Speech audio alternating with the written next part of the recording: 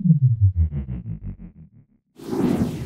El Tribunal Electoral de Quintana Roo concluyó con los juicios de nulidad de las elecciones que presentaron los partidos políticos y salvo dos, los demás quedaron firmes, informó su presidente, magistrado Sergio Avilés de Menegui. Indicó que solamente quedan pendientes por resolver dos recursos que interpusieron los partidos ante la Sala Jalapa del Tribunal Electoral del Poder Judicial de la Federación. Dio a conocer que se trata del resultado de las elecciones de los integrantes de ayuntamientos de Benito Juárez y Otompe Blanco. El magistrado destacó que hasta el momento la sala Jalapa ha confirmado los fallos del TECRO. Porque pues, se convalida más que nada el profesionalismo, más que nada y los principios rectores de la materia del Tribunal Electoral de Quintana Roo.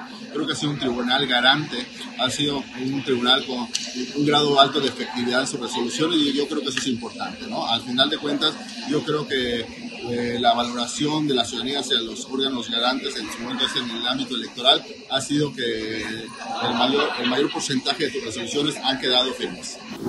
Comentó que lo único que queda pendiente es que resuelvan 96 procedimientos especiales sancionadores. Para Notivisión, Marta Torrero Ortega.